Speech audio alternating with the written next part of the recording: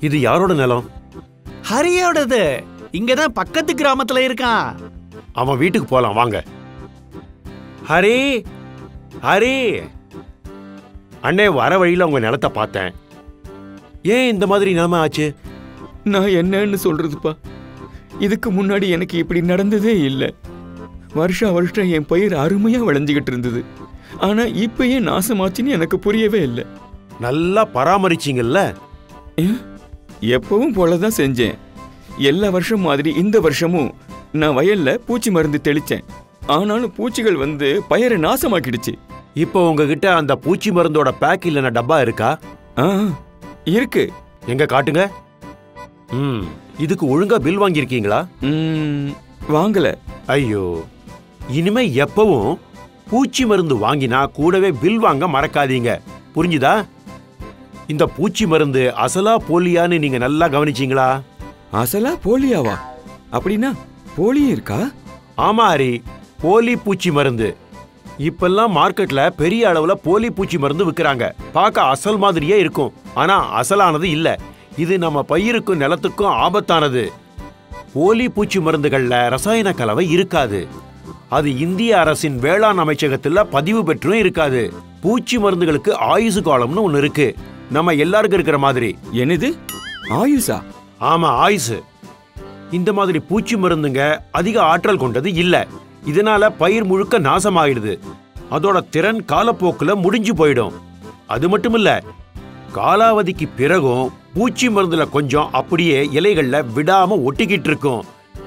இதனால கிராமத்துல சுற்றுச்சூழல்ல பாதிப்பு ஏற்படும். இந்த மாதிரி பூச்சி மருந்துகள் பயிரை பெரிய அளவுல நாசமாக்கும். அதோட கிராமம் முழுக்க விவசாயிகளுக்கு பாதிப்பையும் ஏற்படுத்தும். அதனால தான் இந்த மாதிரி காலாவதியான பூச்சி மருந்துகளை விற்கிற கடைக்காரங்களை பார்த்தா உடனே போலீஸ்லேயோ இல்லை வேளாண் அதிகாரிகளுக்கோ நம்ம தெரிவிக்கணும். காலாவதியான பூச்சி மருந்துகளை விற்கிற குற்றவாளிகளை கண்டுபிடிக்கிறது அரசாங்கத்தோட முக்கிய பணியாக இருக்குது அதனால எப்பவும் பூச்சி மருந்துகளை வாங்கும்போது நல்லா கவனித்து பார்த்து நம்பிக்கையான விற்பனையாளர்கிட்ட இருந்து மட்டும்தான் வாங்கணும். புரிஞ்சுதில்ல இதெல்லாம் எங்களுக்கு புரிஞ்சுது. ஆனா ஒரு விஷயம் தான் புரியல. உங்களுக்கு எப்படி இந்த விஷயம்லாம் தெரிஞ்சதுன்னு சொல்லுங்க. ஒரு அமைப்பு இருக்கு. கிராப் லைஃப் இந்தியா இது அரசாங்கத்தோட உதவியோட விவசாயிகள் மத்தியில விழிப்புணர்ச்சியை ஏற்படுத்துது. அங்கதான் எனக்கு இதெல்லாம் தெரிஞ்சது. அது மட்டும் இல்ல காலாவதியான மருந்துகள் கிட்ட இருந்து எப்படி தப்பிக்கணும்னு தெரிஞ்சது. சரி எனக்கு என்னவோ ஆனது ஆயிடுச்சு அதை விடுங்க. ஆனா இனிமே இப்படி ஆகவே கூடாதுங்க. அதனால அதுக்கான விஷயங்களை எனக்கு கொஞ்சம் சொல்றீங்களா?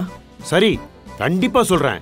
கிராப் லைஃப் இந்தியா அரசு உதவியோட விவசாயிகளுக்கான இந்த இயக்கத்தை தொடங்கி இருக்கு உங்க சப்ளையரை தெரிந்து கொள்ளுங்கள். இதன் மூலம் விவசாயிகளுக்கு பூச்சி மருந்தை எப்படி வாங்குவது என்று விழிப்புணர்ச்சி ஏற்படுத்துகிறார்கள். அதை அங்கீகாரம் பெற்ற விற்பனையாளரிடம் மட்டும்தான் வாங்கணும். அதுக்கு சரியான பில்லும் மறக்காம வாங்கிக்கணும். அதோட பூச்சி மருந்தை வாங்குற சமயம் கடைக்காரர்கிட்ட அந்த மருந்து காலாவதியான மருந்தா இல்லையான்னு கேட்டு தெரிஞ்சுக்க வேண்டியது ரொம்பவும் முக்கியம். அது மட்டும் இல்ல இது அரசோட இணைந்து இந்த மாதிரி காலாவதியான மருந்தை விற்கிறவங்களை பத்தி வேளாண் அதிகாரிகளுக்கு சொல்லி அந்த மருந்துகளை அழிக்கும். அது மட்டும் இல்ல அந்த மருந்துகளை விற்கிறவங்களை பிடிக்கவும் இது உதவி பண்ணுது. அரசும் கிராப் லைஃபும் இணைந்து அவ்வப்போது பயிற்சியும் ஏற்பாடு பண்றாங்க. அவங்க இதுக்கான முழு விவரங்களையும் சொல்றாங்க.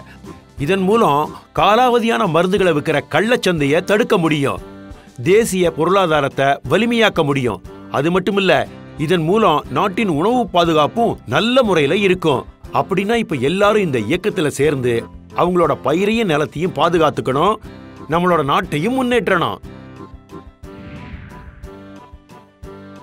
ஹரியண்ணே ஹரியண்ணே சொல்லுங்கப்பா இப்ப என்னாச்சு? என்னத்த சொல்றது? நீங்க எந்த பூச்சி மருந்தை பயன்படுத்தினீங்களோ அதே மாதிரி நானும் பயன்படுத்தினேன். அதனால பயிர் முழுக்க நாசமாயிடுச்சு. எப்படி ஆச்சுன்னு எனக்கு புரியவே இல்ல. வாங்க சொல்றேன். இனிமே எப்ப பூச்சி மருந்து வாங்கினாலும் இந்த விஷயங்களை ஞாபகம் வச்சுக்கோங்க. ஒன்று வாங்குற ஒவ்வொரு பொருளுக்கும் கடைக்காரர் கிட்ட இருந்து பில் வாங்குங்க. ரெண்டு உரிமம் பெற்ற கடைக்காரரிடமிருந்தே பூச்சி மருந்தை வாங்குங்க. மூணு வாங்கும்போது அதோட சீல் உடையாம முழுசா இருக்கான்னு பார்த்து வாங்குங்க. நாலு பேக்கெட்ல தயாரிப்பு தேதியையும் காலாவதி தேதியையும் பாருங்க. அஞ்சு பேக்கெட் இல்லை டப்பால சிஐஆர் நம்பரையும் பூச்சிக்கொல்லியில பயன்படுத்தப்பட்டிருக்கிற பொருட்களையும் படிச்சு பாருங்க. ஆறு இன்னும் விவரங்கள் தேவைப்பட்டா பேக்கெட் இல்லை டப்பால இருக்கிற நம்பரை தொடர்பு கொள்ளுங்க.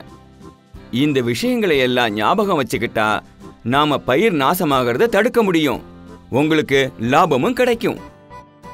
நீங்க எல்லாரும் அரசு மற்றும் கிராப் லைஃப் இந்தியாவின் இயக்கத்துல சேர்ந்து இந்த விவரங்களை மற்ற விவசாயிகளுக்கும் சொல்லுங்க. நாட்டை ஆரோக்கியமாகவும் மகிழ்ச்சியாகவும் வையுங்க.